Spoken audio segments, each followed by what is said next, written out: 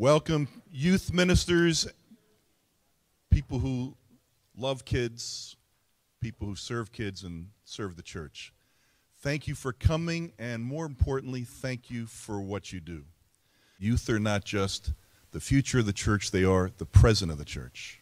And if you are in youth ministry, you also know this might be one of the undervalued, isolated, under equipped parts of church life. But we take some comfort from the fact that it is by far the most fun, satisfying, fulfilling part of church life. So thank you for what you do. My name is Skip Masback. I am the director of the Adolescent Faith and Flourishing program here at the Yale Center for Faith and Culture. All right, every single second I'm talking, I'm taking time away from maybe the leading thought generator in youth ministry in the country. Chap Clark has written something on the order of 21 books, dozens of articles. He has been in youth ministry for over 30 years. He has been a dynamic youth minister. He has been national staff at Young Life. He was called and asked by Fuller, come and create the nation's leading Institute of Youth Ministry here at Fuller and a place in which we can train not only people for youth ministry, but for PhD work and DMins, etc. He brings not only a pastor's heart, he brings a social scientist training and PhD and scholarly understanding, and he has brought the two together in extraordinary ways. I first, uh, I first learned of Chap of Clark because you can't care about youth ministry without running into his name when I read Hurt and Hurt 2.0. This is one of those books that just changes an understanding of what's going on in our young people and in our culture and is convicting not only for how we're raising our young, but also what we're doing in youth ministry. You know, one of the, one of the themes in the book is out of great love and abundance of care and investing in our kids, we have farmed out the raising of our kids to professionals in their soccer fields and their dance troops and their drama areas and their SAT prep courses. Thinking we are caring for our kids, we are often in some ways abandoning our kids into places where they are prized not as children of God, not as worthy of unconditional love and acceptance, but as performers. But the part about the book that was convicting was do we do that in youth ministry sometimes? Do we begin to look for how they can perform in their testimonies and their witnesses and their sharings, etc.? So it is a book that not only critiques the culture. It not only helps us understand the suffering that some of our young people experience and the way forward, but it also charts a way forward for youth ministry, both where we should be moving and caring for our children and where some of the sins are that we should try to avoid. What's so unbelievable about Chap is he brings this love of our young and this deep scholarship and um, extraordinary passion for the subject and ability to present in ways that will transform a room as we're about to experience in the next two hours. It is an unbelievable privilege that we have an opportunity to have uh, Chap Clark with us, one of the one of the leaders nationwide in youth ministry. I'm going to stop talking now so we can get right to Chap. Chap, thank you for coming. Thanks. Wow. Nice job, Skip. There's no way I can come close to matching what he just said. So let's close in prayer. It's been a great morning. Thanks for coming. I, am on West Coast time, you guys. I live in a place called Gig Harbor, Washington. And uh, Fuller Seminary is not only in Pasadena, California, it's got campuses all over the West and South. And uh, part of my job is, is working with these remote campuses, but I get to live in any one of the places. So we unfortunately have to live in a place called Gig Harbor, Washington, which is about one of the cooler places to live. If you can't live in this part of uh, the Northeast, then Gig Harbor is not too bad. But so it's like one in the morning, and uh, Skip and I have been out partying the last couple days, so I just uh, wanted to let you know. I'm a little sleepy, so if I nod off in the middle of this, somebody would you just kind of that'd be great. And another thing is, as we get going, I'm going to do a little fire hose deal with you. I, I'm going to be giving you an awful lot of information. Now, at first, it'll seem like, uh, nah, okay, pretty obvious. Okay, we're building little building bricks, you know, and putting them down, and we're going to build this kind of house of awareness and, and understanding but not just because of, of me at all. It's really just a compilation of what a whole lot of different people are saying about these things.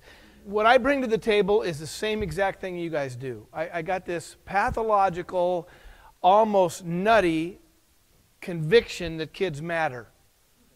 And that there's something about um, looking them in the eye and, and kind of giving a rip of what's going on behind the behavior, the attitudes, the words, the dress, the style, whatever it is we encounter. And uh, I'm like you, I'm just on this journey to try to figure this stuff out. I, I do not presume to have the entire thing figured out by a long shot. The one thing about being in, quote, the academy is supposedly you do a lot of work and research and you tell people your conclusions. But if it actually is faithful scholarship, both theological scholarship as well as just actually work on the ground, it, it's the more work you do, the more questions you have. And so your experience with kids, are, you're going to tutor me too, and you're going to tutor each other. And that's the, the wonderful journey that I've gotten to be on with a whole lot of folks, whether or not they've had formal training or they simply have just loved, to, loved kids for a few years.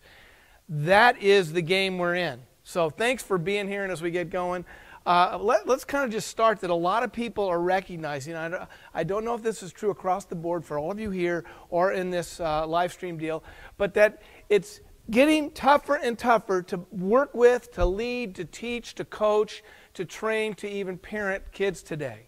There seems to be no question about that among most people, that especially the longer you've been doing it, it's becoming more difficult. But I, I have to say that that's our perspective. We're not going to spend, at least this morning, and I don't think much of the week, we're going to spend a lot of time on what, you know, how hard it is for us as adults to care for kids. Oh, woe is us. Poor us. Those dang kids, they're a pain in the neck. They're so hard they don't live. You know, we could do that. In fact, you'd probably have more people at those kind of conferences, right?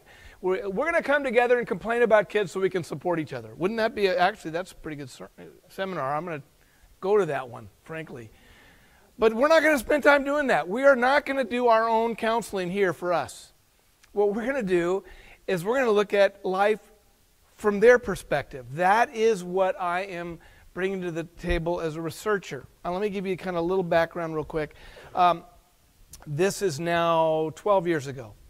Uh, Fuller Seminary is, uh, uh, they have a very generous sabbatical policy for professors as long as you produce something.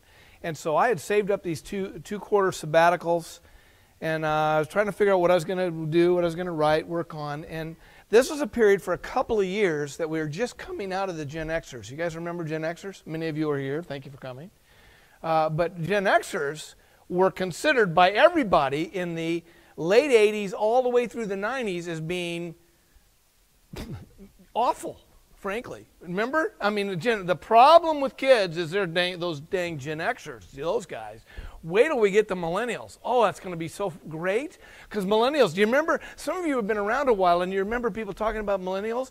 And, and this is 1998 till about 2002. All these books, I mean, a whole plethora. And I never use that word, but it's a very cool word to use right now because all these books just kind of came crashing down saying, Oh, yay, educators. Yay, people in the church. Yay, coaches. Everybody, parents. Millennials are coming. We're going to get rid of those Gen Xers who are arrogant and disloyal and disrespectful, and the millennials are coming. And they're collaborative and they're spiritual. And they're just wonderful kids and they're, because they're the fourth turning, if you read some of the literature on this. And at the same time, I was kind of a part time interim preaching pastor at this little church in Burbank, California. Maybe you've heard of that if you used to watch Johnny Carson. And and I, eh, eh, you know, the, the pews, kids sitting in the neat rows. They wear, you know, their American Eagle at the time before Forever 21 really took off, you know, and they sat with their parents and they looked the part of a, you know, a church-going kid, and they looked like until you got kind of close up at them, like they were cream of the crop, kind of like your students, okay, and I was involved in a little young life thing, an urban young life deal with a, with a bunch of kids that didn't have any church background. Most of them weren't from intact families. Most of them had been oppressed by whatever social systems had tried to serve them. And they were a harder group of kids. So we get this one group of kids in this little young life deal who would show up occasionally when they felt like it, but you could tell they didn't necessarily trust you, but they're willing to come to your deal. So you get a little conversation with one of those kids, and it's kind of like, "Sure, how you doing? Good, fine." You know, and there's kind of this sheen of callous. And then I got these church kids who looked like, boy, they're collaborative and wonderful, like all the speakers and writers were saying. And then we went on this family camp with the church, and I sat around with a group of high school kids uh, right after a meal and started to kind of look in their eye and kind of ask him a question and talk to him. And all of a sudden I noticed something. That as soon as I could, could kind of scratch a tiny bit beneath the surface, the same exact look occurred in their eye that occurred in the kids that were in our Young Life Club eye, where they kind of went, Why are you asking me these questions? What do you really want to know? What's your angle on this thing? They wouldn't use those words, they would just use kind of, de- kind of the deceptive, kind of a head fake to try to keep me from getting a little too close. And I started to realize that what my colleagues and other writers and speakers were saying around the country, whether it's these specialties or in books or articles, about how wonderful and collaborative and easy and great and the good old days of youth ministry are back where you just get a bunch of kids in the room, pour maple syrup down their pants, and they'll come to Jesus. You know, and they'll get confirmed and they'll actually show up the next week. Uh, was not exactly the real story. That there was something else go on. So I, I ended up doing this kind of major study that's now called the Hurt Project. We've continued ever since then, where, where I use my own doctoral training to be what's called an ethnographer, meaning participant observer. I entered into the life of kids because uh, I wanted to try to really figure out what was going on underneath that wall of granite. And so I was a substitute teacher in a North LA County school for eight months. If you want to commit slow suicide, I really say that that's probably one of your best ways to go. Be a substitute teacher in a North LA County school. Uh, and I'd have to teach every class at least, uh, I got every kid at least twice, 3,600, 3,200 kids in school. And I, you know, I have to teach chemistry. And I, I didn't, you know, do so well in chemistry, so that would take five minutes. And then the rest of the time, I could say, I'm here to write a book. Ah, uh, you are not. Yeah, actually, I am. And you get to tell me whatever you want. So the, the superintendent, the co-principals of the school, the teachers, and the counselors all affirmed that I could do this research project on this campus. And the methodology was I simply wanted kids to feel safe to be able to say whatever they want to say. I wanted to hear their experience. In other words, I was treating them like an alternate population that had never been done before in social science research. The, those of you that actually read social science research on adolescents will realize we have such limited understanding of what's going on with the 11 to 18 year old because we can't get parental permission.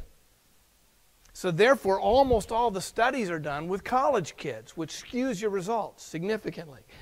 And that's what I wanted to, I wanted to hear from a 15 year old and I want to know what they really thought. And after about three weeks, California, they have this deal where you go, you go two periods, and then they do this 15 minutes of snack so you can grab a quick smoke.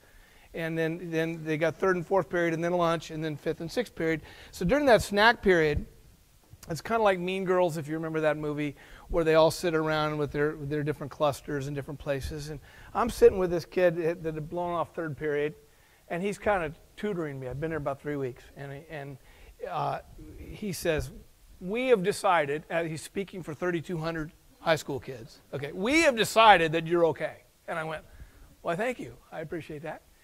And we're going to tell you anything you want to know. We're going to tell you all kind of stuff, and you're going to be blown away. Great, awesome. He goes, you know why? Tell me why. Because you're the only adult that doesn't have a hammer. And I, and I go, what do, what do, you, what do you mean I don't have a hammer? You're the only person that we can tell you something and you can't hurt us. Everybody else can hurt us. Coach can hurt us, teacher can hurt us. It didn't say youth worker at a church because this kid was not a church going kid. It, it, had nothing to do with his faith, it was just simply the lifestyle. So we're going to tell you, and we're going to see what happens with you. And we're watching you. And that's where it started. So I was eight months on this high school campus. Themes would emerge. I'd got over a thousand letters, notes, poems, and songs from kids.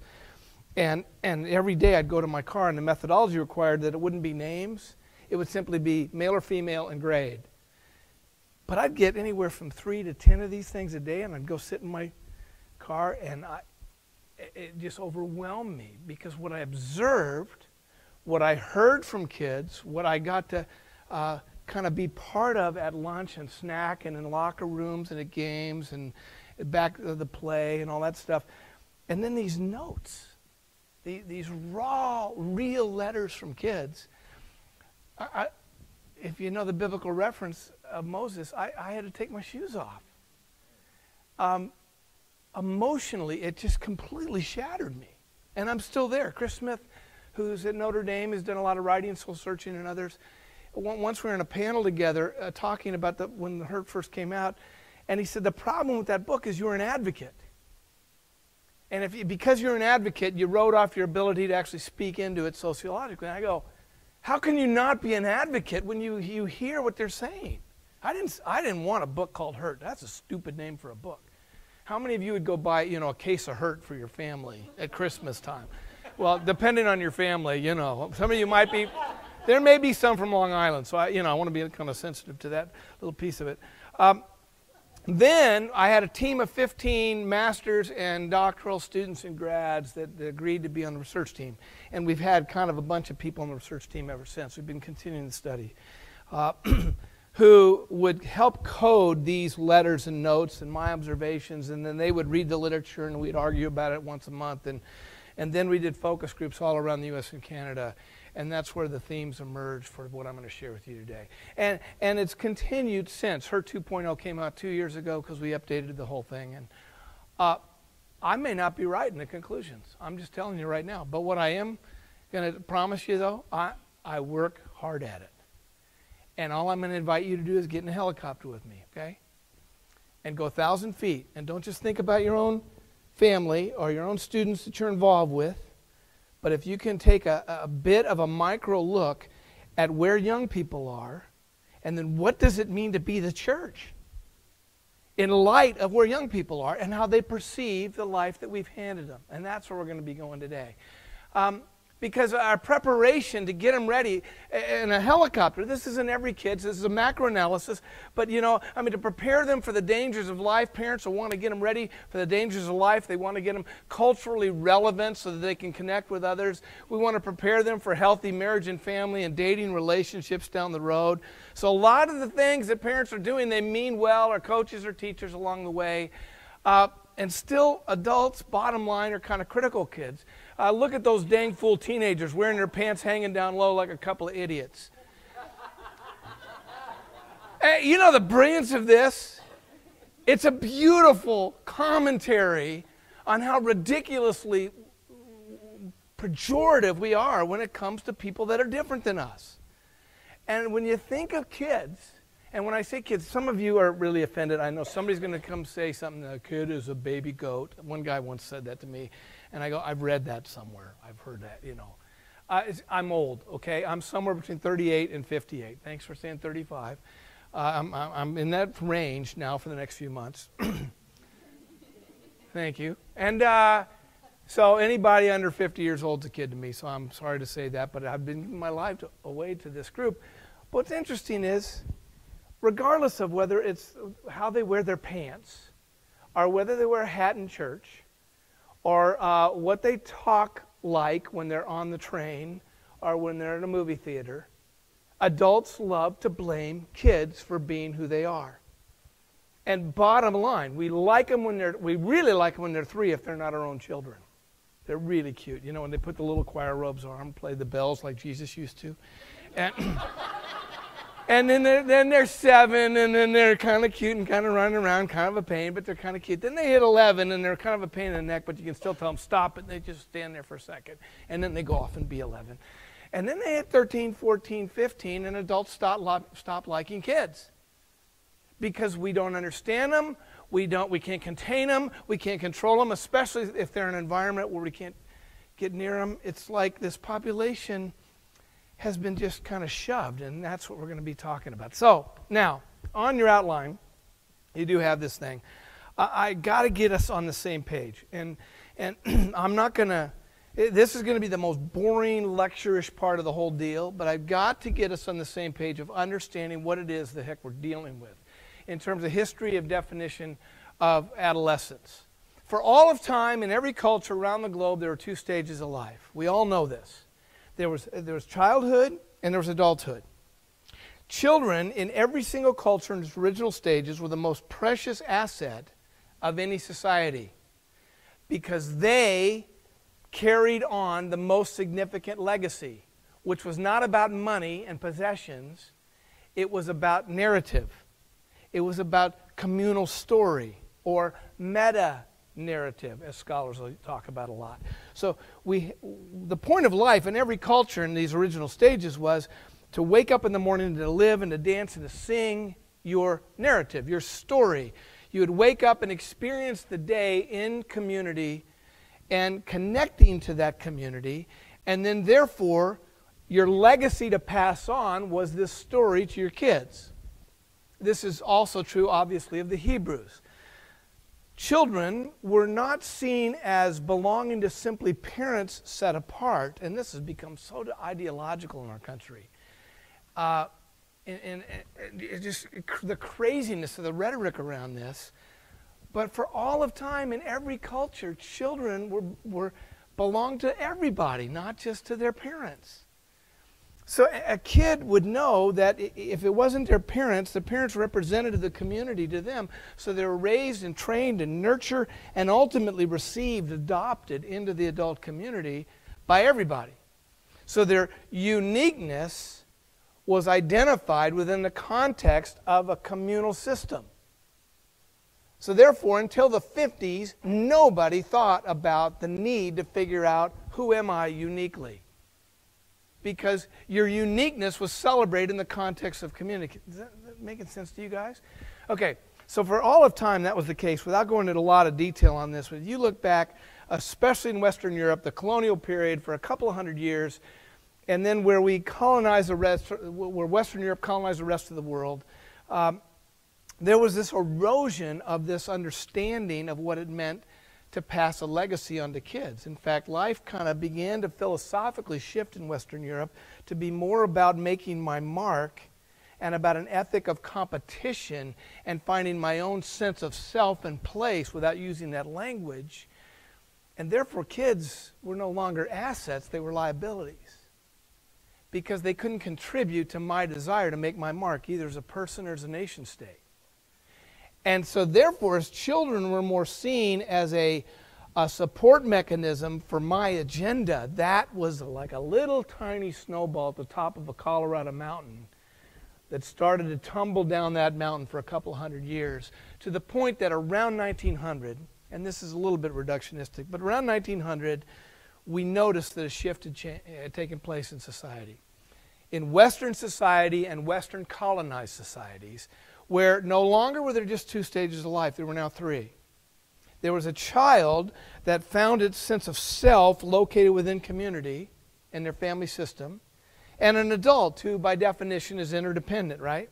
Connected to others, serving one another, using your gifts. In, that's the definition of society and community.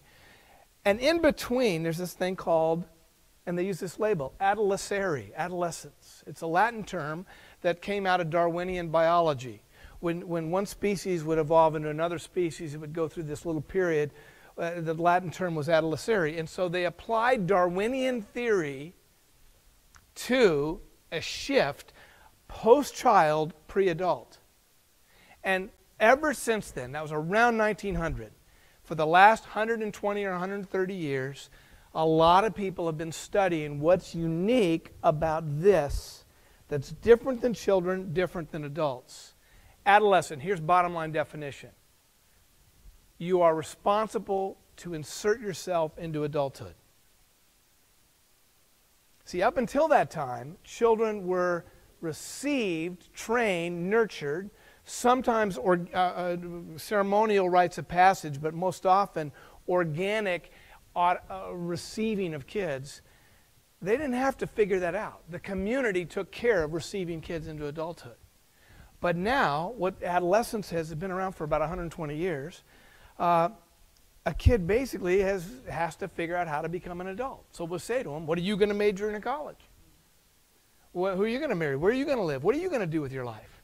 Because, see, we, yeah, we'll love you, we'll help you, we'll resource you, we'll get you ready, we'll launch you, but it's your job to figure out how to become an adult. That's the essence of what we're dealing with with adolescents. Now, let me kind of show you this. It's summarized by this word, unless your name is Carl Jung. I don't know if you've heard of Carl Jung.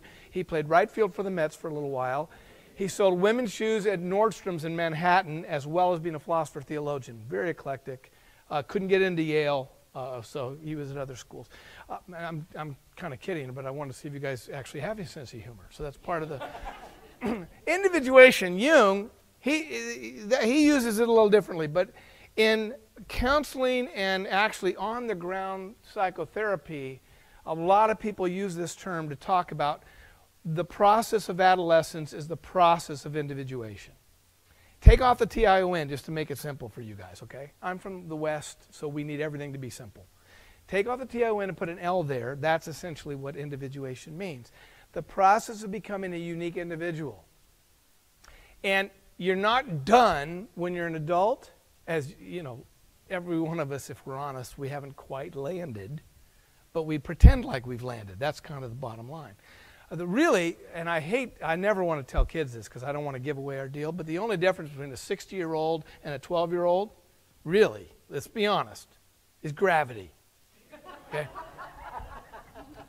All right? We are all sixth graders lost looking for our locker, if we're honest. But see, what we learn is we learn how to kind of land and settle. This is me, yes. I'm now ready to insert interdependently, and we can work together and figure it out because we're civil people, especially in the political arena, right? okay. Now, what's interesting about this individuation thing is there's three basic tasks associated with it.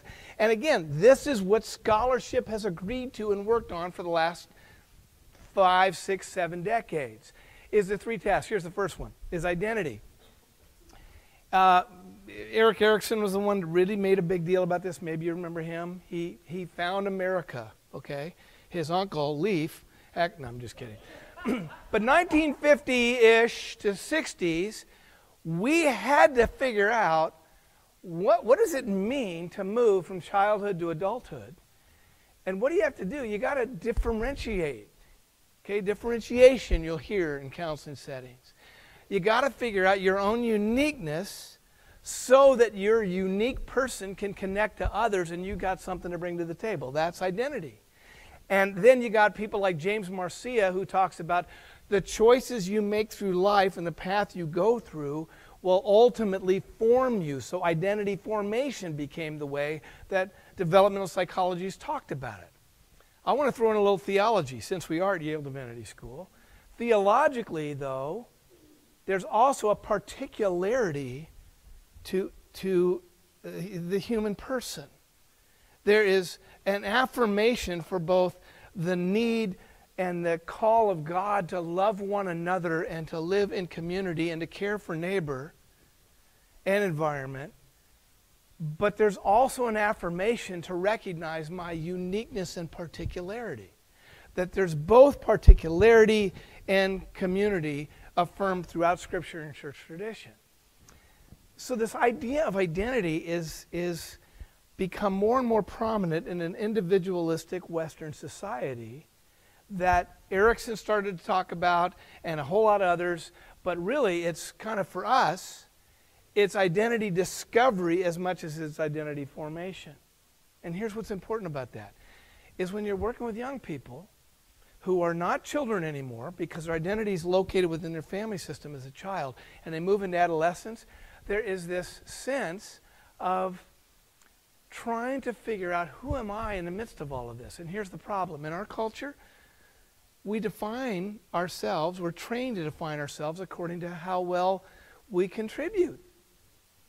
And, and, and Skip mentioned it the performance thing is well, your kids, if they're good at soccer when they're five, fifth grade, then they're, they're pushed into seeing their sense of self located with their ability to kick a soccer ball. And so their identity then becomes connected to their performance. So we have even taken it in the Western world as vocation is what we're good at and where we get a paycheck. And yet the human person longs for something deeper. And that's the quest. Your kids are wanting to know do you care about me, the soccer player? Do you care about me, the student? You care about me, the, the superstar uh, church going kid that's committed to your ministry? Or am I somebody who is actually beneath that ability to perform and conform? That's identity.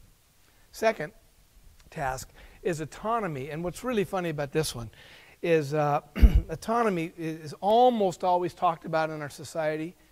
Uh, and, and a guy named Jeff Arnett and actually Chris Smith from Notre Dame have written some things on this where we relate being responsible with being autonomous. The problem is, responsibility may or may not be a reflection of an internal growth and autonomy.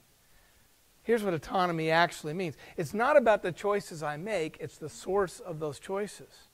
See, most, most moms or stepmoms, you know, and a lot of males don't typically do this, but in our culture, a lot of females who are nurturers do this.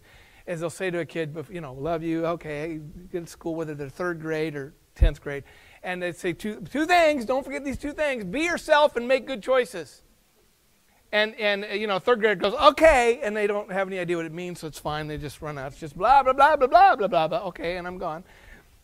You look at the face of a 10th grader after they've heard that for the 10,000th time, and they be yourself and make good choices. Okay, got it. And they walk away going, You have no idea. Be myself. Which self do you want me to be? Do you want me to be the self that you want me to be? Do you want me to self my math teacher wants me to be? Do you want me to be the self that my pastor wants me to be? Uh, and make good choices. What you really mean, you don't want me to make good choices. You want me to make the kind of choices that are going to keep the vice principal or the sheriff from calling the house.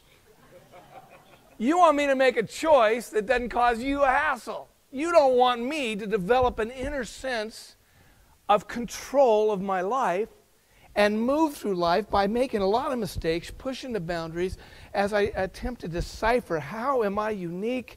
What kind of power do I have? Because actually, autonomy developmentally is much more about power and the place of power and voice.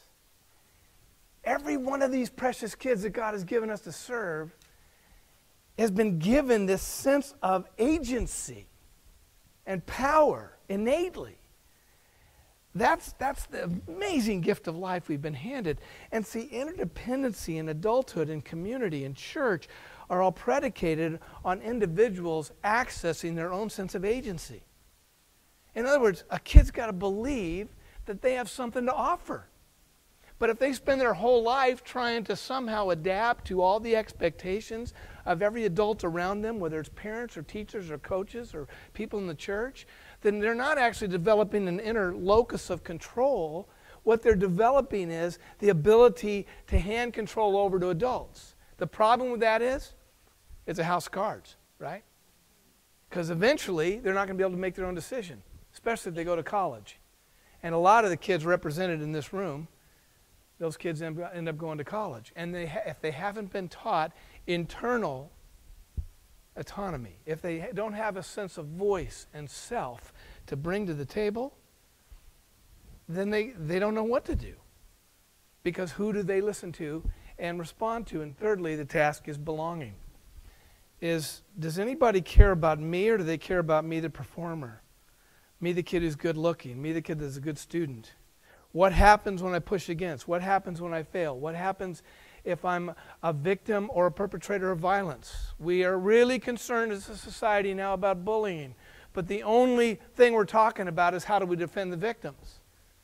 How come we're not asking deeper questions about a society that produces bullies? These are still children. These are kids. They belong to all of us. And these bullies have been they've been, they've been victimized by society because at 14 they've already been written off. And these are just kids. Does anybody care? See, these three tasks. Now, here's the thing about all of us here. You kind of look at that and go, and if you're, if you're even moderately healthy, and, uh, you know, I did a survey coming in, 37.2% of you, you know, are. That's really good. And the rest, we have therapists at lunch that'll be at each table. You won't know who they are. They'll just be listening, kind of watching. Right. But if you're moderately healthy, you go, uh, okay, identity, who am I? Man, I, I got to figure that one out. Autonomy, am I just adapting to other people's expectations or do I actually have voice here? And I, am I respected as a as an interdependent member of whether family, church, life, neighborhood? And then belonging. Where's my community that cares about me? belonging where uh, somebody gave a definition when I was graduating from college. I was in this little dinky startup church, and the pastor was, they were doing a little, you know, yay for the senior graduating, which was, that was it. Okay, so I'm there. And, uh, and he said, This church is home because home, by definition, is the place when you show up, they got to take you in. And at the time, I thought, oh, thanks a lot. I appreciate that. Okay, you got to take, all right, we'll take you in, doggone it. But for us as adults, we kind of look at that and go, wow, I, am still working on those things. I, I got to figure those things out. Well, here's the deal the difference between us and developing adolescence is we have life experience, relational uh, opportunities to be able to read the cues around us and to begin, uh, not to begin, but to work on those things through the rest of the lifespan. What, what individuation is about for adolescents is they don't have life experience to be able to navigate this, and nobody's talking about this stuff. All we're telling them is, We love you. Did you clean your room? How come I got that call yesterday? I thought you were doing fine in school. And uh, yeah, but I just need to just chill for a little while. I appreciate chilling, but we, we need to talk about the school thing. How are you doing in sports? How come you didn't start last week? And we go down the list of the different ways that we expect kids to externally perform their way individuation. And then it's the where does all this timing you know, how does adolescence work? It begins in puberty. The average age of puberty, when your body changes, you get a lot of you know hair, you look kind of weird and then it ends when you kind of landed. When any society and culture, when you kind of settle into adulthood until finally you become a senior pastor or a high school football coach. Okay, that'd be the. I need goofy slides, okay? I don't have much content, so therefore, it's the average age of puberty in any culture. And now scholars are studying this and have really ramped this up the last 40 years or so. We're realizing it's the average age of female puberty in a culture within a few months on either side of that average age of that first menses, that's when both the boys and girls begin this thing called adolescence. It's a psychosocial dynamic. That didn't used to be one word. About 20 years ago, even in, in spell check in your computers, that's when that became one word. Because it has to do with this it's a process where psychologically, uh, how I see myself, how I interact with myself, how I perceive my ability to interact with my community. That's the psychology of adolescence. Sociology is how do I read the cues from others in the environment? And here's why it's psychosocial as a process. Puberty, excuse me, I just hit it. Uh, it's because this is a constant interaction. I'm constantly reading the cues as I'm growing up, and I'm constantly trying to read the internal cues of who I think I am.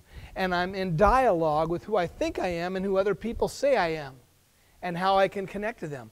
See, adolescence is not physiological, it's not about body changes. Your body changes much more from birth to 5 than it does from 13 to 18. It changes a lot 13 to 18, but nothing compared to 0 to 5. What changes is you hit 14 or so, all development is stage Piaget. Maybe you've heard of him, a French guy that studied his three kids and became famous. That's absolutely true.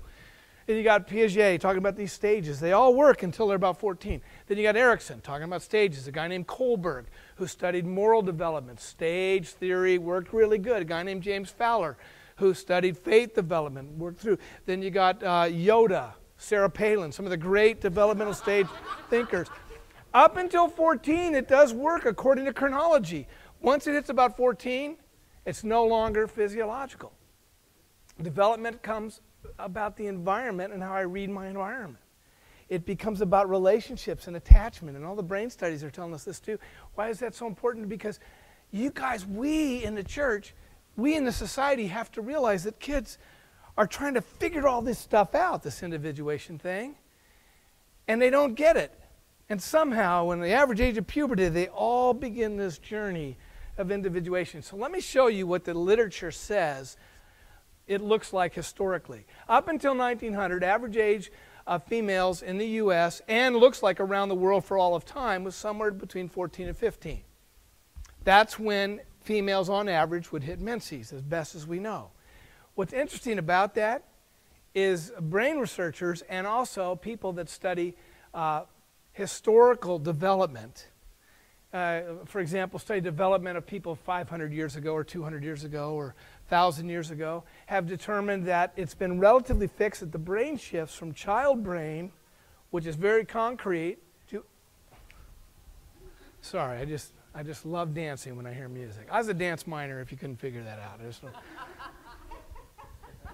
pretty good, huh? That's all I'm doing for free.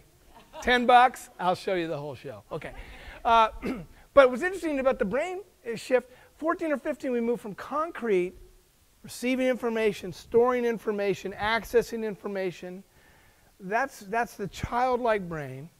And then right around 14 or 15, the brain begins the process of abstraction. And so it's interesting for all, it looks like for all of time, the brain would mature at around 14 to 15, and the body would mature somewhere around 14 or 15. So that means the child would be a child in both brain and body until about 14 or 15. Then brain and body would begin to have the adult like abilities. And then you can see in antiquity and even 200 years ago, you can find examples of fully developed adults at 17 years old with all the mature capability. Ship's captains at 17. Uh, the, the head of the Siberian, I just read about this last week, Siberian fleet of Russia in 18, I think it was 40 or 1860, was 19 years old. He's ahead of the entire Russian fleet there, and by the time he's 24, he was a millionaire. This guy that started the Inglenook uh, winery because he had full brain function. And th- there's so much evidence of that right at 14 or 15. When were you an adult in 1900 when we first noticed this? Here's what's interesting 1900, 1% of American high school age kids went to what we consider high school. Only 1%. 9% went to prep schools. So 10% went to some kind of education after eighth grade in the U.S. in, nine, nine, in 1900. Only 1% of them went on to what we consider kind of the public typical high school because we saw education as finishing at around 14. Why? Because you were an adult at about 14. You were a young adult, but you were seen that way. But when scholars looked back, we didn't start studying this till the 20s and 30s, but when we look back and apply individuation to development, what we see is in 1900, our kids were not really mature adults interdependent until they're about 16. And so that's when we first gave the label adolescere and first started to notice this. Now let's jump to the 1970s, 1980s. Average age female puberty in the U.S. dominant culture dipped below 13 for the first time in that decade. That is when all the boys and girls, on average, went below uh, 13 years old. So this has gotten a little bit younger. Now, if you're 35 and older, this is the, kind of the shift. Is you were an adult according to individuation, 18 to 20. So if you're roughly 50 and older, right around when you graduated from high school, if you did, you kind of landed and settled and, and, individuated right around 18 years old, right about time of, of high school. If you are somewhere between 35 and 50, it was a year or two after that when you kind of settled in. This, remember, identity, this is who I am. Autonomy, I have an internal locus of control. I make my own choices and I live with those choices. Belonging, I'm ready to be interdependent with adult community, right? Now, if you're 35, and we'll, we'll take Q&A in a little while, but that's kind of how it's seen. If you're 35 and younger, a huge shift, because this is like that snowball again, coming down the mountain, and then right around the mid 90s, things started to really change exponentially. And that's where we went to today, where the average age female puberty in our culture, according to Center for Disease Control, is 12. If you have the data in a calculator, it's about 11.7 dominant culture. If you are Latino immigrant in, in Los Angeles, it's about 11.3. If you're wealthy in South America in urban centers, it might be about 11.1 or 11.0. Let me tell you some other things on this one. It, it, interesting on this one, it's not just environment, education, socioeconomic standards. Uh, in our culture, what doctors say, you know, if you ever gone to a pediatrician, what would a pediatrician tell you? Anybody know? Nutrition. It's hormones in the food supply. They've been saying exactly the same thing for 35 years, even though organic foods supposedly have kind of crept in. But here's some studies that you don't hear about, and they're very solid. Do you know that a girl that reports a close affective relationship with her father, on average, hits her first menses six months later than a girl that reports an estranged relationship from her father? Six months. If you've taken any statistics class, you know that that is incredibly significant. In fact, it's frighteningly significant. Six months is huge in terms of this. There are so many environmental factors that affect this, and I, we're not going to fix this, but I, this is where the limits of my I don't study this stuff. I'm just kind of reporting to you. It's getting younger. We all know that. It's getting younger around the globe. There's all kind of reasons for it. But this is serious. Now, when are you an adult today? I swear to you, this is not my list. This is just the this is the synthesis of journals out there. Scholars are saying if we define adolescence according to identity, autonomy, and belonging, individuation, and not timing, this is what scholars will say. For women, it's mid to late 20s now. On average. Now, there's outliers. For men, mid to late 50s. That sucker goes on and on. we call it PlayStation, Xbox, and Will Ferrell. That's what that's all about. Now, it's extended. Here's some implications of this. Again, it's on average. I'm getting you in a helicopter. There are fully mature adults at 23, but they are clearly outliers. There are people in their 30s and 40s and 50s who have not quite individuated for a whole variety of factors becoming an adult who's interdependent and is relatively individuated is becoming more difficult, especially for males in our culture, than ever before. Then you add to that environments of violence, uh, family struggles, educational or economic oppression. I mean, you could just go down the list. And all of these exacerbate the extension of adolescence. And here's one thing to know on average this doesn't mean every kid, but on average, Today's 23 year old is the developmental equivalent of a 17 year old 25 years ago. That's the way to get this. Today's 23 year old is the developmental equivalent of a 17 year old 25 years ago, on average. It doesn't mean every kid's that way. But here's the deal is almost everybody in high school is somewhere in the middle of this process. Where especially the older we are, the more we go, hey, I remember. I know what life is. And we tell kids, high school is the best time of your life. Parents say that to kids all the time. You're such a complainer. What a whiner. High school is the best time of your life. Whenever an adult says that to a kid, have you ever seen a look on a kid's face going, oh, awesome. Thank you. I, that's great. I appreciate that. That's great. So what you're telling me is this is as good as life gets. Thank you. That's really a gift. Okay, great. Oh, wow. Fantastic free falling, I'm free. Okay. well, all, that said, I, when you walked in this room, how many of you had said you were an adult at 16? Anybody? One, okay. Uh, on average, kids are adults at 16. Okay. How many say 18?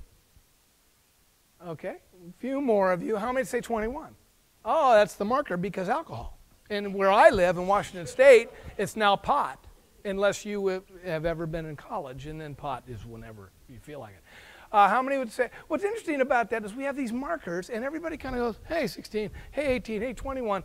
What's interesting that we got these markers. Okay, 16 is that is the one marker. It's the one rite of passage we have. It's the most dangerous. You're given the most opportunity to do the most damage at 16 years old, which is a little frightening. But uh, then we say 18 because, right, you can vote, you can go to war, and you can use tobacco products unless you play baseball, and then it's seven. Okay? and then 21 to drink alcohol, or if you live in Colorado and Washington, to smoke pot legally, right? And, uh, but see, the airline industry, I mean, the, the uh, rental car industry, right? Hertz says it's 25. They got their 25, you're an adult. Okay, what about uh, Southwest Airlines? Two. It's so funny how we have all these different numbers. And a lot of parents go, you know, 18, boy, until you're 18. And we say, you know, with, with a on face, until you're 18, love you, you're great. But as long as until you're 18, I'm yours. Okay, you belong to me, and you do exactly what I say until you're 18. Parents that say that to their 11 year old think they're getting away. That 11 year old stores that, remembers it, writes it down, has the calendar. Tattoo artists love that because they go kids go in the day they turn 18 they go to the tattoo parlor they know that they get the zelda right across their chest you know and come back and say i'm 18 i got it's zelda you know and this is and this they don't know cause and effect and this is called permanent you know uh, but this is serious because, you know, guys also get tattoos. It's not just the girls. So, uh, and I'd like to describe this in terms of stages because this gives a kind of a picture. This helps me to understand what it is we're dealing with with young people. Is uh, uh, we started studying really around the 30s. We started studying this whole thing called adolescence in depth and detail till the mid 90s. The left pole is the pole of childhood, the right pole is the pole of adulthood, where you have support on both sides, community, right? By definition, adolescence is therefore a tightrope because you have to go through it alone. You can't individuate. You can't have somebody else. Now, you, you know that you got the helicopter parent who hovers over the kid, knowing that that kid still is responsible to figure out how to how to move along. In fact, scholars are now talking about other kinds of parents, not just helicopter parents, but they have the snowplow parent, right, that tries to push away any kind of obstacle. Uh, they commit fraud by writing their kids' college entrance exam uh, or having SAT tutors. Ooh, sorry, that was a low blow. Although it's called a standardized test that if you're wealthy, you can work the system. That's the integrity of that let's not talk about it, okay? Uh, and what's interesting about that whole thing is the snowplow parents actually think if I can get all obstacles out of my kid's life, my kid's going to do better. But the reality is, you can't ever prepare the road for the child. You got to prepare the child for the road. And, and, and, therefore, as we try to push aside all the problems they're going to face, they don't ever learn how they're going to interact with life as they grow up. They won't develop a sense of self and autonomy. But then there's the stealth fighter bomber parents. I love those. You guys ever encounter those in youth work? They kind of come out and they're mad, but you don't know it until they come out of nowhere and just drop napalm and just boom, you know. Uh, the drone parents are coming, and I'm not sure what they're going to do, but that's a whole other political thing. Okay, here's the process of what happens during adolescence. So, those of you, we're, all here doing youth work. It's just really important we understand developmentally where the kids are. Why? Because you can't separate spiritual development from human development. You can't separate a kid's uh, internal conviction to trust the God of tradition, whatever tradition you come from, in a way that's separate from their own developmental journey in terms of them owning their own life, seeing themselves as an agent, etc.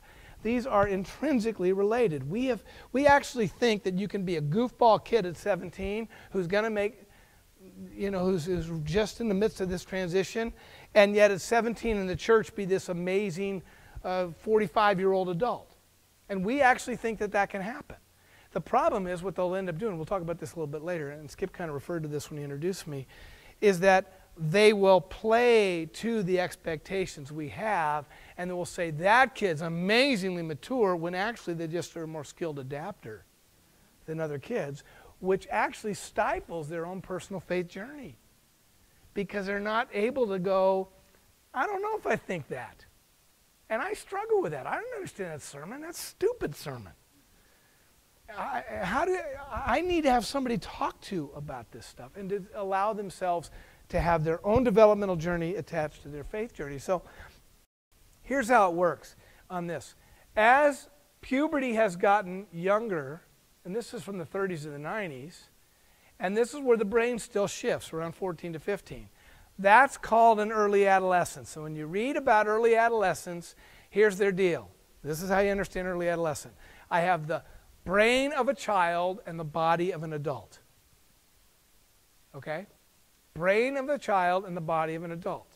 This is where boys and girls and males and females are at their most different across the whole lifespan, according to the brain researchers and developmental thinkers. And Nancy Chodorow and Carol Gilligan are two that studied under Erik Erikson, and they've done identity stuff, especially with females. And what we've learned about girls from who are uh, prepubescent, that's a child. Even if a kid doesn't hit puberty, male or female, until 14, it doesn't matter if their community hits it at 12. All right? What matters is the psychosocial community. They all move into this, and they're called early adolescence. And for females, early adolescence is this their brain moves at the, at the rate of a Japanese bullet train, just shoom. And all the studies have shown us that the, the speed at which the female brain from 11 to 14 goes, and it's all about reading cues. In fact, uh, Carol Gilligan from Harvard, uh, she couldn't get into Yale, you know, so she had to go there. Uh, or UC San Diego, my alma mater. Okay, either one. Uh, but she said the 11 to 14 year old female is the most relationally intuitive human on the planet. Okay? She said that in a conference. The most relationally intuitive human on the planet. And you think about the 11 and 14 year old girls that you guys deal with. Okay?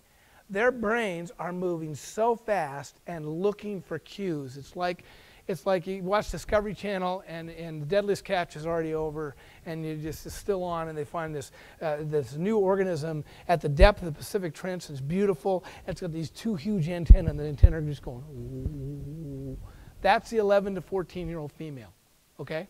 And all these antennae are just going, ooh, and asking one question Do I like you? Do you like me? Do you like everything about me? And do you like my friends? And they're just constantly moving. Any of you ever worked with 11 to 14 year old girls? Okay, just if you picture the antenna on all, every time you see them, next time you go to see them at church, you just let, and then just picture these antenna and wrapping around each other and using them as offensive weapons sometimes, and you got it the boys are really, this is where the brain moves very differently. It's th- their brain uh, actually is, is also like a train, yeah. But it's more like, you know, the little engine that never should have tried, that never should have tried in the first place. Just a tung, tung, tung, tung. It's like if you go to a middle school, is school out of session here yet? Are you guys still in school? Okay, if you really want to test this, I love it. Go, go and do a little research project and write and say, chap, I, I did a research project.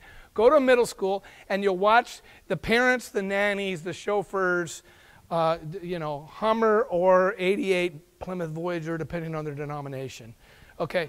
Uh, driving up and sitting, and they'll come 45 minutes, an hour and a half early if they have a middle school boy because they want to park right in front because the girls will come running out with their antenna just going like this, no problem. The boys think Shrek in sixth grade.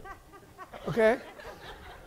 And the boys will come out, and they'll come out with about 85 pound backpacks. These little tiny sixth, seventh grade boys, right? You, you know why? Because they don't remember anything from 10 minutes ago. So when they go at the end of the day, oh, I got to get my books. Okay, so they open their locker, they shove every book, they don't know what they have for homework. Then if there's an open locker, they grab those books. Maybe I should. And they, and they come out, they go like, that's it, right? If you got 11 to 14 year old boys in church, they had the bat and they come walking out, and there's a car right there and the mom going, Jeremy, Jeremy. And then he finally sees mom. Yeah, he takes the backpack, oh, throws it in the car, gets in, and she goes, Hi, how was your, where are your shoes? And the kid goes, I don't, did I have two when I left? I don't remember. Oh, mom, I forgot my backpack. And he runs, and the backpack's there in the front seat. That's the 11 to 14 year old male. Thank you very much. Thank you very much. That's really not supposed to be funny. It's just so dang true. That's what's kicking it. Yeah, so when you go to camp with an 11 to 14 year old boy, and he's just having this great time, crazy, you know, and then they feed sugar at camp. Can you believe what they do?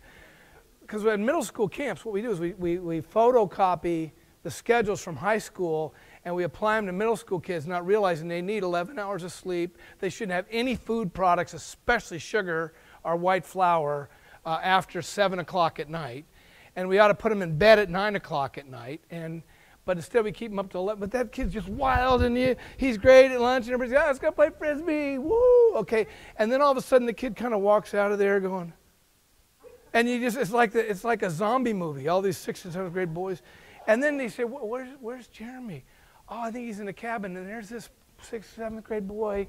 If you've ever counseled or been a leader to middle school boys, he's laying in a fetal position in his cabin, but he doesn't know why.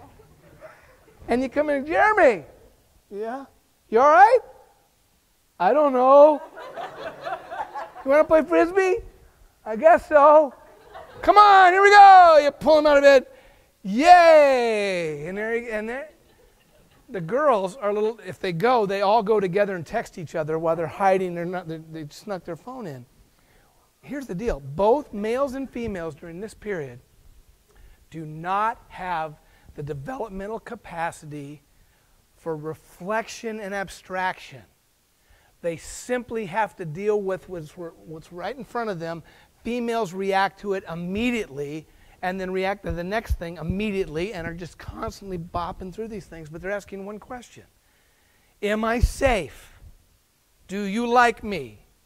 Can I simply be myself as I read these cues because I'm so worried of what people think of me? This is why middle school is so destructive to so many girls because they're constantly just bumping into each other and scraping against each other.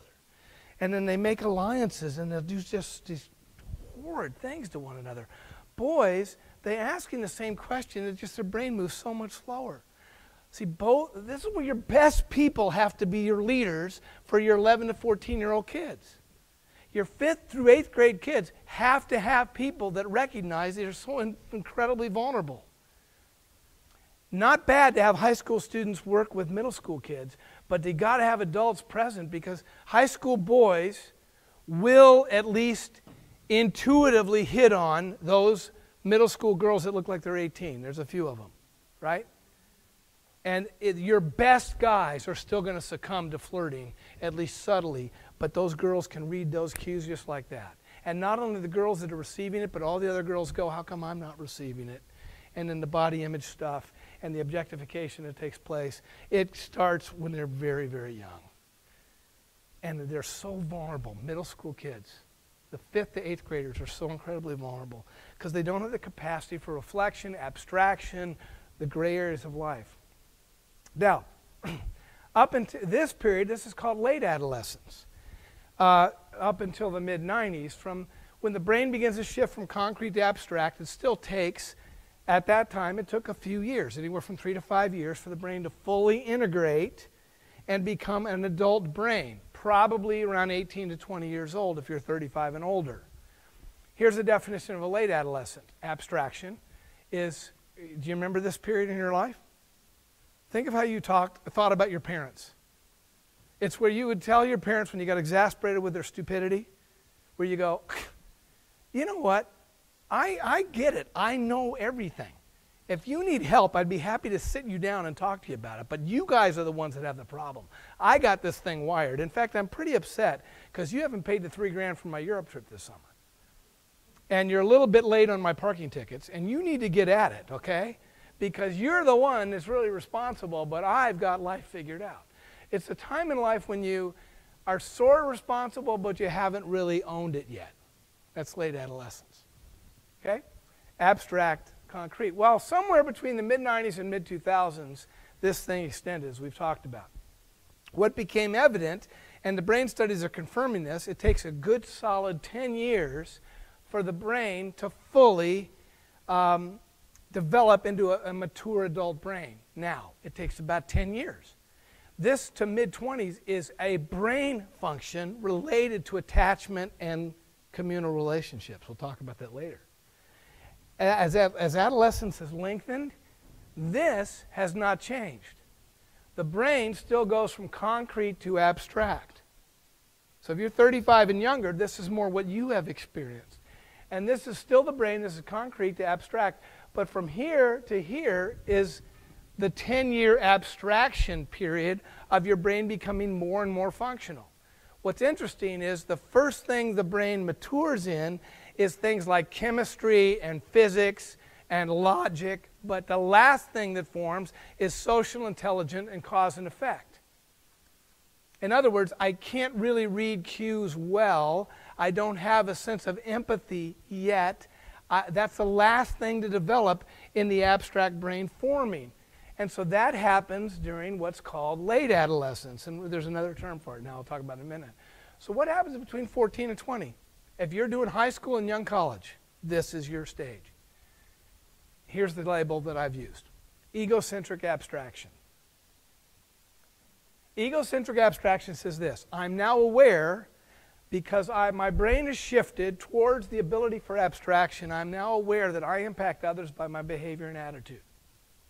But I don't care. Now, I tell you, I say that, and sometimes people don't know enough about me to think I'm just being mean to kids, that I'm blaming them. that is where I started with you guys. Adults blame kids for being insolent, for being disrespectful, for not really caring how their behavior and their attitudes, especially collectively with people that are strangers. If you go to a movie theater and you walk behind a group of 15 or 16 year olds, you may even, though you work with kids, you may be astounded and offended. And almost every adult is. You see, you're on the train with them or whatever. It's because this is a period where you don't know who you are, you're not sure what kind of power or voice you have, and you don't know who cares. So, therefore, you're going to be focused on your own self protection. David Elkind wrote a book called The Hurried Child in 1981 that he redid in 92, redid in 2001, came out again in 2006, 25th anniversary, The Hurried Child, where he predicted all of this before it even happened. He saw what we were doing to our kids was forcing them into a kind of an egocentrism out of the stress of not knowing who they were and how to grow up. And that's David Elkind. I'll talk about that the after the break. But that's mid adolescence. And I, I, want you to know that there's hardly anybody that's putting together what mid adolescence is and especially applying it to a ministry situation. It's not happening much in education, it's definitely not happening in government.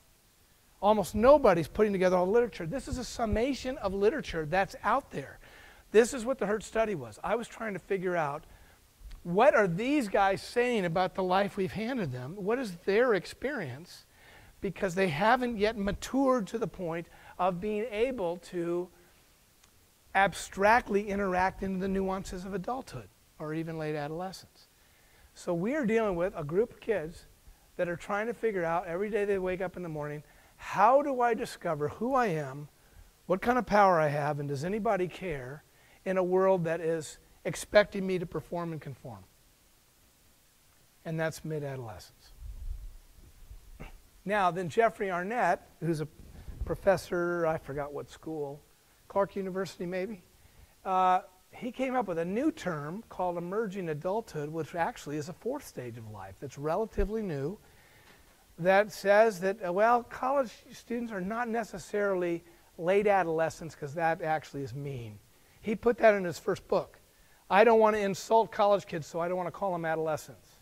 Well, that's hard to continue to study the same phenomenon. We changed the name. It just kind of changed the game. But it's called emerging adulthood going into the early 30s.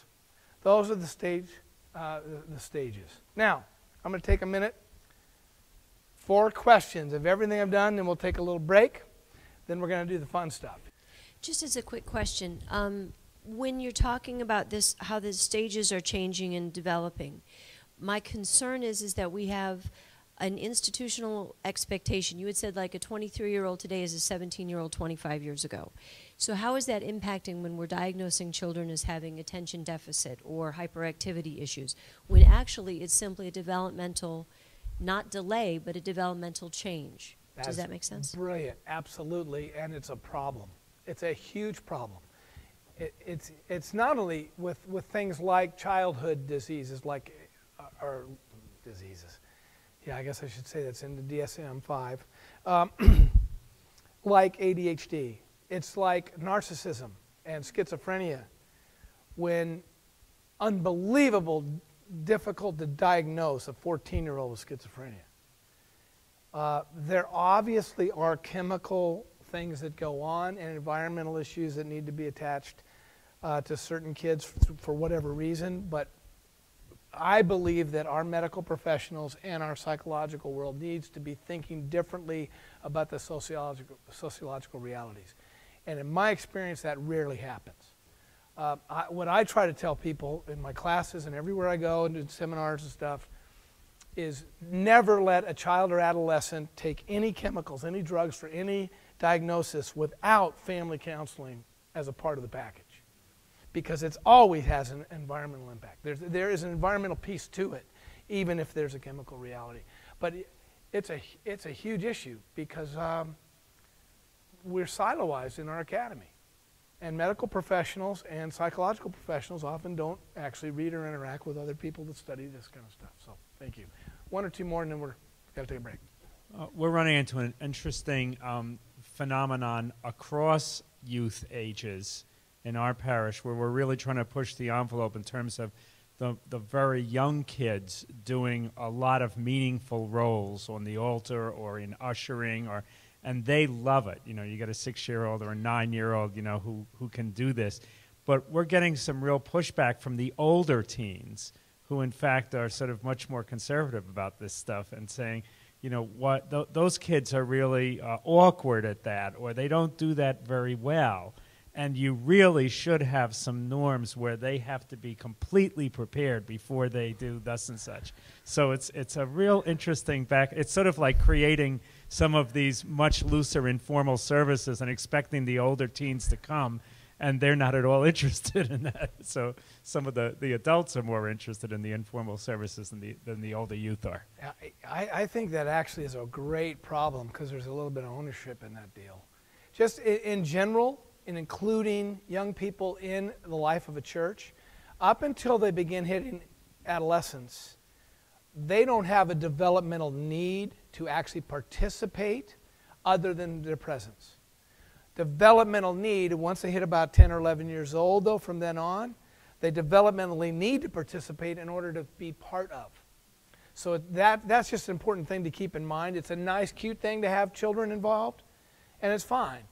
But it is a necessary thing to have from the 10 or 11 on to feel a sense of connection to the community.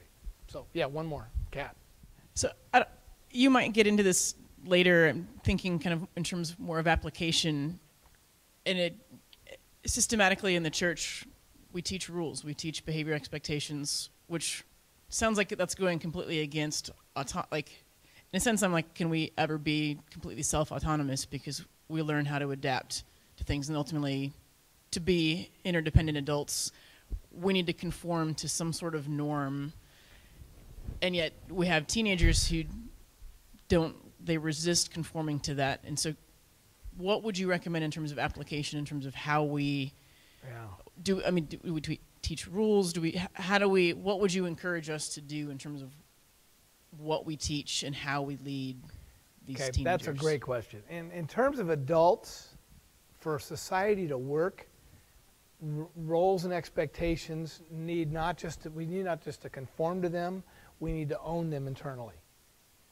And for society to actually function, we have to own these decisions ourselves to say we are going to put limits on ourselves in order to serve interdependently, to live interdependently in society. We have to agree that a red light means stop. Okay? And that's why we have, there's, there's a lot of uh, pushback against that, and that's why we have police force, etc. Uh, for, but for an adolescent or a child, we have to teach them how to internalize, not conform, but to internalize the choices in order to be productive members of society. And that's the dance. And I call it boundaries.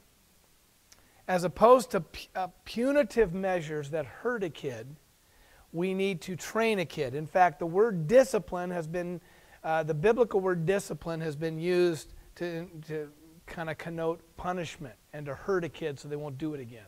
Our whole justice system is based on you got to hurt somebody. If they do something bad, you hurt them back. And that supposedly teaches them not to do it. It's the worst form of motivation, is punitive. Uh, the best form is uh, relational reconciliation and affirmation of their participation in the community and teaching them how to have boundaries in the inside. It's training. The biblical word in Greek and in Hebrew that's used 90% of the time in Greek and Hebrew is not punishment, it's training. It's more like a coach of, of fourth grade football defensive backs. Now, maybe not all of you have seen a football game, but most of you have at least seen a football game at some point. And a coach of a fourth grade team usually is in, in practice games is standing in the backfield, and when a kid makes a mistake because they go for a fake, then a punitive measure or an is, is, you stand there and you follow that you know and that kind of control and the kid never owns it as opposed to the coach getting hey uh, stop a second. Hey here's what happened. That, that quarterback faked that guy and then he ran this way and you went for the fake here's let's talk about this why don't you watch the quarterback and watch the ball and if he fakes it you still go with that ball and i'm going to stand behind you and whisper into you, watch the ball, watch the ball. And then the next time, let's run it again. Then the kid learns because the coach has taught them how to internalize the behavior that actually can, can promote growth. And that's really what we have to do. We provide boundaries and internalized behavior, but we get the kids to own any conformity as opposed to we just impose it on them. So when you impose rules that they don't own, you're actually shutting down their own growth in terms of autonomy. Here's the bottom line that I understand why this has all happened. And I've alluded to it already before is an exponential loss of social capital from those who are necessary in the lives of our kids. Social capital is this concept that made popular by a guy named Robert Putnam, a professor of sociology at uh, Harvard, wrote a book called Bowling Alone. And uh, a lot of people have talked about social capital. Here's basically what it comes down to is people invested in the lives of young folks in order for them to explore who they are as they prepare to enter adulthood. It's uh, scholars have known for an awful long time that you cannot become an adult unless you have a bunch of adults surrounding you. You just can't. You can't figure out what's going on on the inside and how to interpret all the messages of life unless you have uh, people to help you interpret what's going on out there in the world. And not by forcing you into conformity and performance, but to encouraging your own story and encouraging your own giftedness. For example, uh, adults, even, even 30, 40 years ago, used to believe that all kids were their kids. That wasn't just limited to ancient cultures. 40 years ago, uh, a young person in need would be seen as someone that everybody in a community would at least, uh, in their best days, think that, that we got to take care of the kid. Those of you old enough or have seen Nick at Nite, uh, do you remember Dennis the Menace TV show? Is a great example of that because Mr. Wilson reluctantly cared for Dennis. And Dennis would go into his house anytime he wanted to in the back. There was just this relationship with a next door neighbor, which is all but gone, or would, it would be a very different TV show today. Uh, and it would probably be more like a CSI than anything else. Adults used to see their primary roles facilitating children becoming adults. Um, the concept of legacy has always been historically, and even 30, 40 years ago, of passing on a story, of passing on what's meaningful in life. And legacy is now limited to just financial. It's passing on what I work hard to earn and passing it on to my own kids. Uh, the, the, the furor related to um, the politicization of whose kids belong to whom the last probably two months if you watched MSNBC versus Fox News. Uh, you know, and they love going at each other. But there was a, there was a, and I, and I used to keep it on, but I'm going to try to go fast. Uh, a person from MSNBC that talked about how all these kids belong to all of us because for all of time, even in American society up till about 30, 40 years ago, that was just like an obvious thing. Of course, all the kids belong to all of us. And yet, boy, some, some folks from the other side of the ideological spectrum jumped on that and said, I don't want anybody to tell me what to do with my kids. And it's just a, it's a unique way in human history how to look at young people. And I'm not trying to politicize this at all. This is not a political thing. This is a shift in our viewpoint of young people. Adults once saw kids as assets, not liabilities, and they were worth the effort we put into it. If you ask a teacher 40 years ago, public school teacher, uh, what do you do? I teach. You do? What do you teach? Well, I, I teach high school kids. I, I, teach English, but I teach high school students. If you ask a, a, a coach 40 years ago, what do you do? I'm a, I'm a coach and a history teacher. Oh, yeah. What do you coach? I coach student athletes. Yeah, I coach football, but I'm, I'm coaching these great kids. They're amazing. Today, you ask a teacher, try it. What do you teach? English. What do you coach? Basketball. Uh, 30, 40 years ago, if you ask a teacher, in fact, this could happen. This did happen when I was in high school. Is uh, uh, maybe three girls would go up to their uh, Spanish teacher and say, you know, we got a JV volleyball game. Love it if you'd come. And almost for sure, that Spanish teacher would give up the afternoon to go watch the JV volleyball game, which, by the way, is a painful experience. Especially in those days, because that's before volleyball. You couldn't get a point unless you served in those days. Do you know that?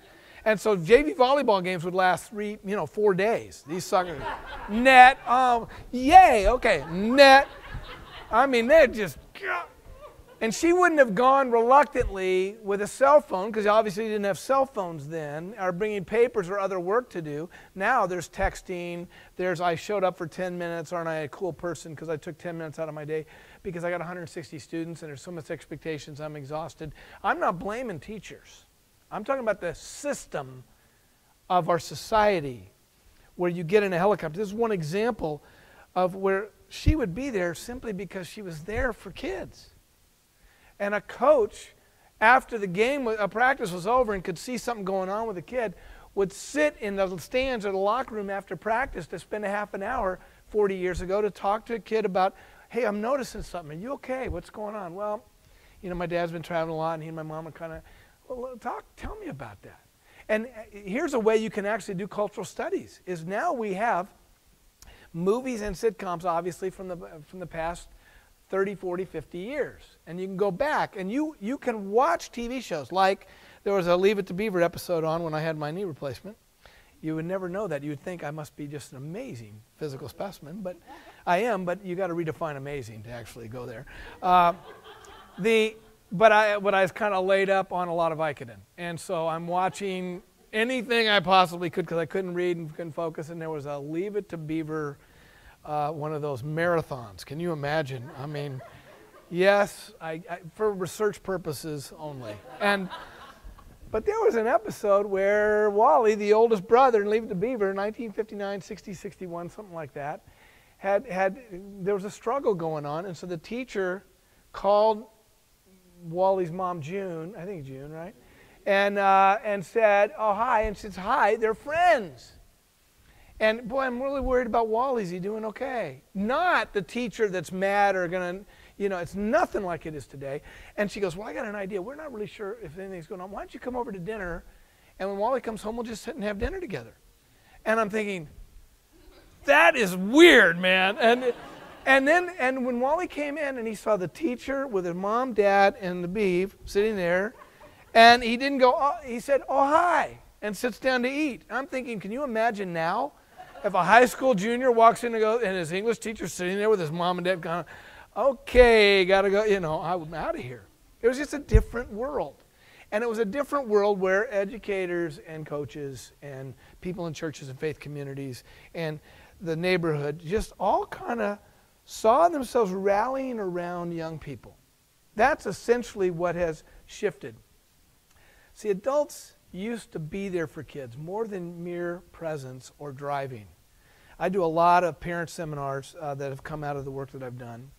Uh, my wife's a marriage and family therapist, and so we've written a book called Disconnected, which is kind of taking the hurt stuff and put it into parents. And so, like last week, I was in a place called Sammamish, Washington, which is where Microsoft is in Redmond, Sammamish there. And there's like 50,000 employees of Microsoft right there in the town. And they've had six suicides in the two high schools in 18 months. So it became a news thing, and you know all the all the TV stations were there, and it was kind of a big deal. Uh, and I just was trying to there to describe what it used to be like for kids. They had places to go. They had people that knew their names and stories. And virtually that's been not only eroded but ripped away from kids. The, the more we have, have fragmented our society and the systems that were set up originally to care for young people in order to provide this kind of uh, surrounding mechanism of support and encouragement as they try to figure out individuation has eroded to becoming much more about reinforcing performance and conformity for kids. It's such a rare adult that actually knows the names of the young people in your churches. Much less after church says, hey, you know what, I'd love to, you, you go to Starbucks to drink coffee or something like that. I would love to be able to just have a cup of coffee with you for half an hour or something like that. Did you ask your folks if that'd be okay? Maybe get a friend and let's just, I just want to get to know you. How often does that happen? But 30, 40 years ago, they did know each other. Now you got to make a specific appointment, and there's legal issues, and there's all kind of stuff on top of it. I'm sure you guys are aware of it. Let me give you an example. That's the first Little League team. I love that slide. That's one of my favorites. They, th- that boy right there, I don't know if you can see on this thing, you can't. He's got the bat. Look, he's just smiling. He's very excited. He's got the bat. She's holding up the ball. She's very excited. 1938, uh, boys and girls from roughly 7 to 16 years old, they let that little boy wear a dress. They're very progressive back then. Um, and what's interesting about this period, what, what do you notice? Okay, haircuts, similar. Yeah, okay, is that really the first thing you notice? Mary, I, am not really going to open it up again. They're, okay, they're smiling, most of them, sure. Think about a Little League picture you've seen. Yes. There's no uniforms that say Sally's Cafe. Sally didn't get Jack for helping out this thing. But what else do you notice? Who's not in the picture? The coach. There's no adult in spandex. I want to, in heaven, I, I, hope heaven is so much more marvelously surprising than anything we ever experienced. But I, I hope they have a vast DVD library because I want to see, I want to see the, the first Little League coach to think it was cool to wear a baseball uniform to coach Little League kids. I want to see him come down the stairs and say, honey, what do you think? What do you think? Baseball uniform, I'm a coach of Little League. I mean, it's bad enough when you have actually adults wearing baseball uniforms to manage a team. I mean, it, it, can you imagine, you know, a college basketball coach, Calhoun, okay, we're in Connecticut, you know, wearing a basketball uniform on the sideline, standing there, okay, pass the ball to that guy. But baseball, you know, when did it become about adults? But see, this just was one example. Youth sports has become about adults, has become about parents, has become about coaches. Uh, uh, we coach kids who are young kids, and if they can't cut it, then they move on.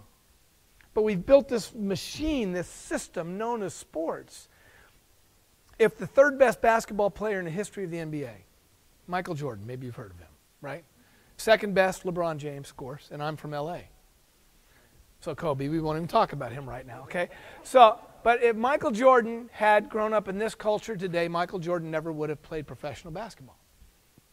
Because in his town, he never would have been able to go to college and play basketball. You know why? Because he never would have been able to make the high school team because he didn't play club sport in junior high. Because he wasn't any good until he's about a junior in high school because bodies develop differently for children and adolescents. And we got this trend now where college coaches are scouting elementary school and middle school kids and trying to sign them. Yeah, absolutely. And in most, and even in Connecticut, believe it or not, in, in this enlightened part of the world, Connecticut. And in, as far as you guys are concerned, this is amazingly enlightened. As far as the rest of the country, it's another conversation altogether. But, uh, but it's, it's, it's like here, it, this idea that it's just, it is what it is. That's what every adult says. It is what it is. There's nothing we can do. That eight year old has to play competitive soccer because they want to. An eight year old doesn't know what they want to do 10 minutes from now. They're playing, you know, Xbox. Do you want to play competitive soccer? Sure, it'd be great. Okay, it's a big commitment. Okay, I'm committed. 11 to 12 year olds do not understand the necessity of playoffs.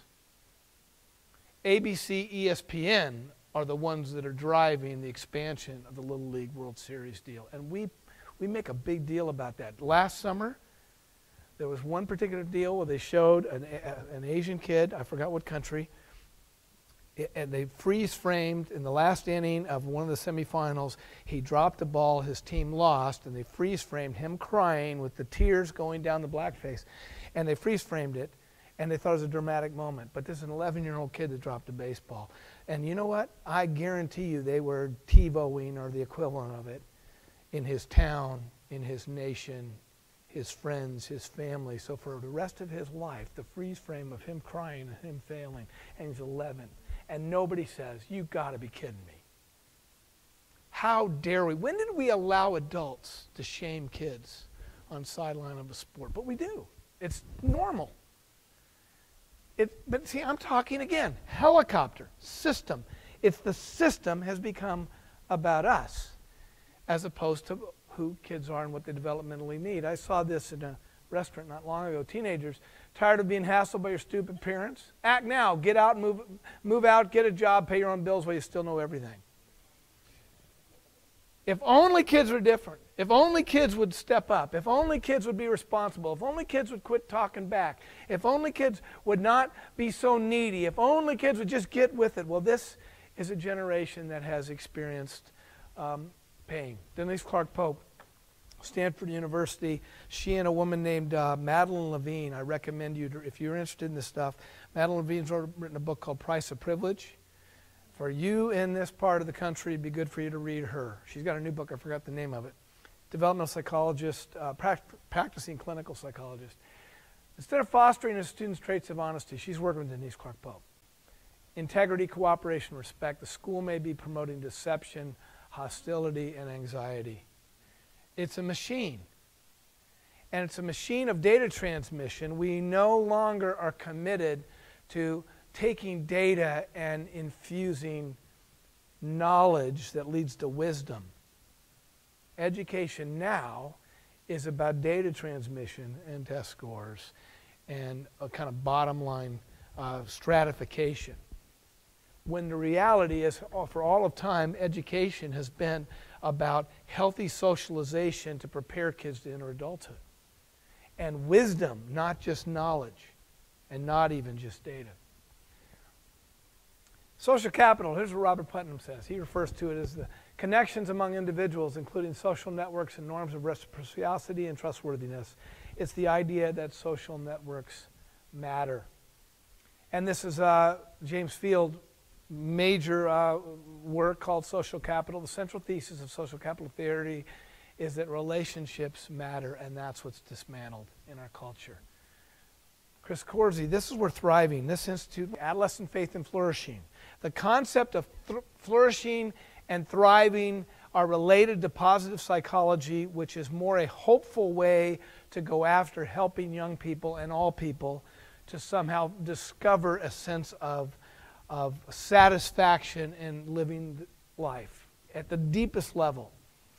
And a lot of the thriving scholars, even at Fuller Seminary where I teach, we have a Thrive Institute there. We put a lot of money. We've got a top notch Oxford scholar who's heading it up. And the thriving so often says kids have these unlimited potential. They've got so much to offer. Let's help our kids thrive. And I completely agree with that. But this is also at the center of this theory of thriving. Attachments are the necessary building blocks for our lives. Attachments are the foundation for emotional and mental well being and interpersonal interaction. How we grow and mature is based on the quality of our bonds. Without an attachment foundation built on consistent, healthy interaction, our emotional well being and mental health will suffer. That is the state of mid adolescence in America. That is the problem. Our kids are having a hard time thriving because nobody's there. Synonyms for this idea of social capital, capital is used a lot as scaffolding. Maybe you'll read that certain places. That's what psychologists use a lot, the idea of scaffolding around kids. Assets, Search Institute. If we give kids assets, but assets without us is nothing. And attachment. Attachment is this idea that there's a relational social bond.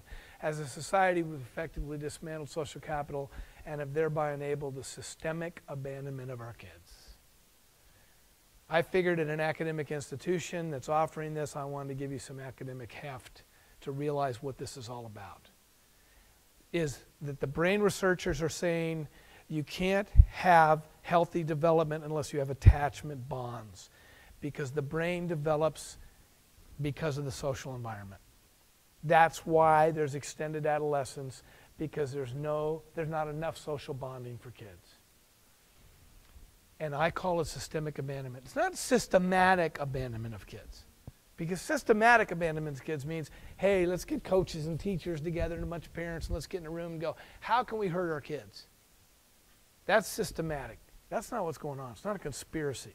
The NSA is not involved in this, as best I know. what this is about is the systems that were originally designed to reinforce and support young people going through adolescence have become about adults, and they become machines and boxes where we put our kids in and say, perform and conform. Three ways that kids find their sense of self in the society how they perform, how they, per, how they conform, and they can, if they have the ability, to project an image that will somehow please an adult in charge of a system. Objectivity, I mean, um, objectification, making a human being an object, is alive and well in 2013. And there's, there was in the New York Times on Saturday, I didn't actually get it in the, into the slides, but I saw it. In, if you saw Saturday's New York Times, uh, there's an op ed piece that talked about the devastating consequences of what it means to grow up in this culture and the end of it. And something like, I forgot the percentage, but it's like 27% of high school girls have been sexually assaulted. And that, that is by the most rigid standard of what sexual assault is. I would say it's more like the 80 to 90% range, depending on how you define sexual assault. And yet, that's the underbelly of this society where Thomas Friedman and David Brooks and others have said it's now the atomization of society. We're not even fragmented anymore. It's not like chunks of people. It's atomization. We're all atoms. It's amazing they still show up at church. But the reality is, our kids are growing up in a vacuum of social relationships and support. And I call that systemic abandonment of our young, even in the family. Unfortunately, in the family, uh, which, which is kind of the last bastion of the social contract to kids, that has eroded. Um, it, it, 40 years ago, you ask a third grader to draw a picture of their family tree, most of them would be able to do it in class. This is not meant to be humorous, it's meant to be descriptive. And Brock, you'll remember this picture. Uh, if you ask them to do it today, that's maybe what they would end up drawing. But here's the point, is if a kid even a kid in this family system has been raised to expect this over the course of their lifetime. That even in the family, you can't necessarily count on which grandma's going to show up at Christmas. You're not even sure who's going to be around. Ron Taffel, by the way, a great writer, sociologist, wrote Childhood Unbound. Regardless of uh, headlines labeling us helicopter dads or soccer moms, in many ways, parents seem almost invisibly removed 21st century parent managers negotiating every single logistical challenge of their kids' crammed schedules became too frenetically busy to be a magnetic presence in the internal landscape of a child's world. I love that line. That's why I use this. A magnetic presence in the internal landscape of a child's word, world. Even the brain studies are confirming that kids are desperate for a magnetic presence and without that, it's very difficult for the brain to fully develop into the maturation it requires. Again, let's blame kids. It's their problem. They need to get at it, they need to be more responsible. Okay, why this must matter to the church. The cost for our kids, and that's where I'm just going to take a couple minutes here to talk about this. This is basically my research hurt. Hurt 2.0. Um, a lot of you didn't, when I first stood up, you probably didn't ever heard of me. You didn't know I wrote anything. All you saw was I was attractive. That's all you really had to go on. I don't know why that's the biggest laugh of the day. Thank you very much. But some of you, probably, obvious, thanks, Karen. Yeah. And, but some of you probably said, well, I, I recognize that guy. Yes, I started my literary career actually as a cover model. That's where it actually began. Um, that's where it started. So maybe you remember that. Uh, but the book Hurt and Hurt 2.0 is basically unpacking the cost to kids in their own experience. For example, they live in a world beneath the surface. By the time they hit abstraction, right around ninth grade, they realize that, whoa, whoa, this is a little precarious. So they grab onto each other and they go underneath. They're a different population, they're a different group. To, to understand them, theoretically, we have to see them as a subpopulation as almost an immigrant group trying to figure out how to connect. I used to use the word assimilation, but I've been schooled mostly by uh, my own students who have said assimilation is not necessarily a positive thing. Because assimilation means you got to change to become part of us. That's what most churches do with kids. And I use a different word. I'll talk to you about that in a second. Uh, then they live out of multiple selves, multiple identities. Uh, what, what that actually means is uh, if you don't know who you are, you're not sure what kind of power you have, and you don't know who cares, and you go to the world beneath, you realize you go into English, you got to be somebody. This is for high school, this is mid adolescence. And so you create a self for, high school, for English. Then you create another self for math, which is why parents will go to teachers' conferences and hear about six different kids and go, that's just weird. But the reality is, is because they don't have a core self to draw from yet. It's not like us who compartmentalize as adults. They actually have a church self. And that church self, that self they create for the various social environments, that self is created in order for them to survive that particular setting or box. They don't necessarily know what's going on. They don't really know what's going on, but they know they have to do it. They've got to be a certain way or they're not going to be accepted in that setting. And what we do is we, we reinforce the box of expectation and performance in the church. Because we say we love you, but really we love you, but we'll really love you if you look this way and act this way and talk this way and you perform according to our expectations. And that's why kids leave right around the middle of 10th grade if they've stuck around that long, mostly. If they haven't found an environment that says you simply get to be you here, then they'll stay, especially if they have a sense of place.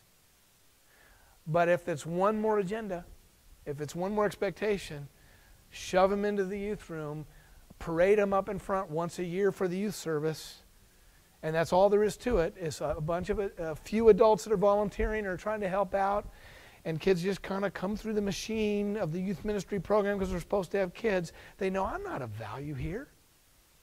It's one more box I got to jump into, and frankly, this is a volunteer box. I can get out of it when I'm 16 years old, and they're gone. The ones that stick around have found some sense of satisfaction by being there. And it's either you've done a great job of creating a safe place and inclusion and value, or it's the only place they have of safety. Think about your juniors, uh, sophomores, juniors, and seniors you have now. Either you've done a great job of helping them to know how deeply cared for they are and how valued they are, or they don't have any place else where they're going to get as much accolades for what they do.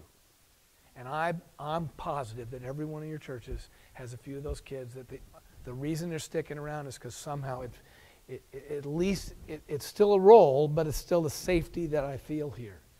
And you got to make the shift from just having to be the most available sense of safety in terms of a box into a place of actual inclusion. See, the key is, and we're getting to the crescendo, the key is how do we actually allow a kid to contribute and be part of us? How do we help them to know that just because everybody else tells you you got to conform and perform, you don't have to do that. We want you. You matter. You are part of me. I can't live as a guy in his 50s without a 14 year old that comes alongside of me and gives me the blessing of their own life and giftedness. I need that kid, and that kid needs me. You need that kid, and your senior adults need that kid. The problem is when adults aren't the initiators, they expect kids to step up and be the initiators, and they just can't do that. They're not prepared to do that.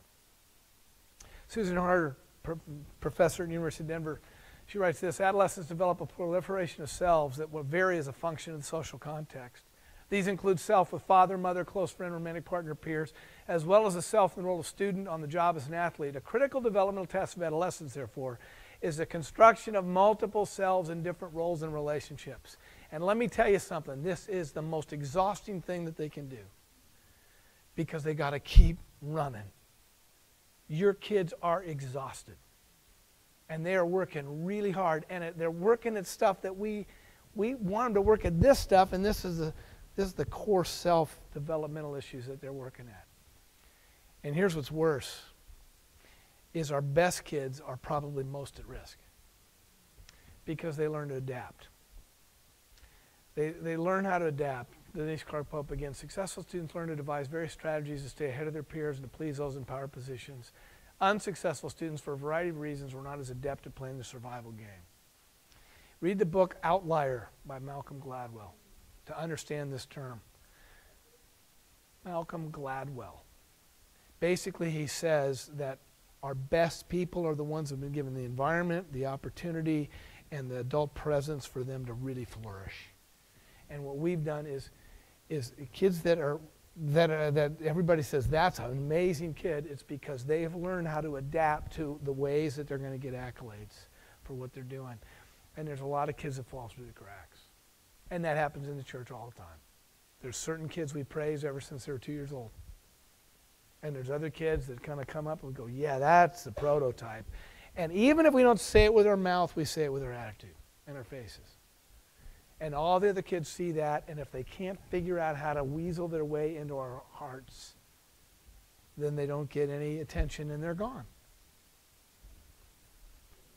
And peers and friendships have changed. Here's something that uh, we, we look at high school kids and we see, well, it's just like when we were in high school, they have their friends. Now, and if you're 35 and older, your friendship groups were what's called a clique. It's like you linking arms with each other, right, in a circle. And, and that's, a, that's a friendship group that you need to survive. As adults, I hope you have good friends, a few of them. And you link arms and you circle up. Even Jesus had Peter, James, and John. Remember when he went up to the Mountain Transfiguration, Peter, James, and John? Yay, great. Uh, can you imagine Bartholomew at the fire? Hey, hey, where, where are you going, Lord? Oh, we're just going to go up this little mount, the little transfiguration thing. It's not a big deal. Just want you to stay there. We're just going to go up. You know, Bartholomew's dad emailed Joseph right after that. God, Joseph really came down hard on Jesus for just how you only have three friends. You should have taken Bartholomew with you on that little camping trip. That's bad. But now, see, in, in, in, mid adolescence, they have these they have friendship groups, but they're not the same as our friendship groups. You're 35 and older. See, mid adolescent is so consumed with survival that even their friendship groups are networks of mutual self protection. See, that's on your outline. It's like they link arms still, but they link arms back to back now. The whole concept of wingman didn't just come from Top Gun, but it's an idea that my friends are there to protect and guard me and to provide me a sense of joy and celebration in life. The problem is there's certain rules in the peer group known as the cluster where the peer group you can't bring your friends down. You can't, you can't really talk about the deeper stuff that's incongruous that you don't understand, whether it's family structure, struggles or addiction issues or cutting or loneliness or insecurity. You don't talk about that with your friend. Maybe one or two friends, and girls are better at this than guys. But the point of the friendship group is to protect you from dealing with the hassles of life, not to be a support group. So, guess what? This is the loneliest generation in history. There's more freedoms and a whole lot more danger out there. Kids are playing hockey and lacrosse. This is serious stuff. We've got to do something, and they're stressed. This is the most stressed generation in the world. This is uh, people are stressed. Or again, David Elkind in a word, egocentric, though not necessarily conceited or prideful. See, it's not our kids' fault. They have little opportunity to consider the needs and interests of others because they are under intense stress. Here's what they said in our research the pressure causes you to put on a good face. You can't be weak. You gotta, you'll become one of those kids. So much pressure to succeed. Teachers expect me to be perfect. Kids not in the elite group feel like they're nothing. You have to bring your A game every day. Um, in my research today's adolescents are the most stressed generation in history, and I don't think there's even a question about. The loneliness most isolated and the most stressed ever because they just don't have anybody there in a highly complex, performance oriented and competitive and individualistic society. And then we're the church. We offer support, we offer youth ministry, we offer youth groups, we offer sports, we offer drama, we offer dance, we take them on mission trips. We have all kind of great opportunities for kids, but we just don't give ourselves away. And we're the church. If we don't do it, who's going to do it? If we don't have compassion for our young to pass faith on from generation to generation, that means we don't read the Psalms. That means we don't realize that Jesus said, if you want to be great, look at this little kid. Okay, bottom line, here we go. Now it's it's 11:24. I got six minutes, but it's relatively obvious now. Is when they're a child and an early adolescent, they need relationships that are gentle. Paul talk, uses this as a metaphor, the Apostle Paul in 1 Thessalonians chapter 2, where he says, Like a mother, like a nursing mother, we were gentle among you. We loved you so much, we gave you not only the gospel of God, but our very lives as well. So dear you had become to us. Gentleness is not an attribute of this society, and even for children. But as children and early adolescents, everybody's got to be gentle with them. Then when they move into adolescence, they need relationships that are supportive. Again, 1 Thessalonians 2, Paul says, like a father, we were there to encourage, comfort, and urge you to live lives worthy of God. Encourage and comfort is the biblical metaphor for fathering. We think of, um, you got a lot of images. I'm going to keep going and relationships that are mutual as they approach adulthood. Philippians 2. If you have any encouragement from being united with Christ, any comfort from his love, any fellowship with the Spirit, any tenderness and compassion, make my joy complete by being like minded. Look not only to your own interest, but also to the interests of others. You belong to each other. John 15, I have one command city slickers. Remember that? One thing love one another. Exactly. That's it. That's the game. Our vocation is to love one another and be His ambassadors and witnesses to God's movement in the world, to bring shalom, to restore that which was broken. That's the point of the church. It doesn't matter where you are on the theological spectrum, we all agree with that one. Evangelization is both sharing the good news of Christ and being witness to that and serving the needs of those who are broken. Our kids are broken. And that's, that's what they need. Well, when there are holes in the net, what we look to is let's have youth ministry and get a youth minister. Let's get them trained. If it's bad enough, you get a therapist. If it's not bad enough, you get an SAT tutor. Right? Or you get a small group leader. Or you get a youth minister. Or, uh, but if you get one person, then we have these mentoring programs in a world of systemic abandonment, which is the most stressed and loneliest generation in history, we're going to get a we're going to get a mentor, one. We're going to hire them. Oh, better yet, we're going to get a paid friend for you, kid. We love you so much. Thank you. See the point? When in reality, let's think theologically here, who we are as the church. Okay, let's get some people that actually are trained in this stuff and let's have them pour into kids' lives. But let's also allow families and encourage families to come together and love one another's kids. And then maybe let's get extended family and a teacher coach or small group or a senior pastor or a 75 year old widower in the church. Let's all start recognizing that our kids need a bunch of adults. And why not in the church we make this the goal of youth ministry? That's my vocational journey, is to get the church to be the church for kids that youth ministry has way too long counted on a paid person or a bunch of volunteers to pour into kids' lives because the church refuses to do it. And those days are gone. Basically, it's called adoption. Uh, instead of assimilating kids into the church, oh, you get to be with us. You get to listen to the new organ that you would have voted down. but we adopt kids. See, anybody that's in an adoptive setting you adopt children or you've been adopted or you know folks in that, the system has to change to receive the person being included. That's supremely important. It's both theological and psychosocial. The system of the church must adapt to receive the new generation. Every generation has forced the church to adapt in order to pass faith on in the contextual realities of that generation coming up. What that means is our adults, yes, we talked a little bit about, I forgot your name, I'm sorry, Ann. Ann and I talked about a lot of senior adults are grieving the loss of what used to be in the church. We need to help them grieve, but we also need to help them grow up and realize that legacy for them is that they, they adopt these kids. And we, we have to train them how to do that. So, therefore, here's my five things, and I'm done. Perfect. I got two minutes. But it's obvious. I've said it all along. One, the church becomes a youth minister. That the body of Christ, however you guys frame that, in your own tradition. However, you frame what the church is meant to be, still there's this core identity that's related to God who has revealed himself. And I'm sorry to use the male pronoun, but the, the Creator has re- revealed the Creator to all of us. And therefore, as the people who, of God who gather together to worship and celebrate and then represent that God in the world, we have to train adults to be the people that care for the next generation. Not only in the church, but in the community and the world.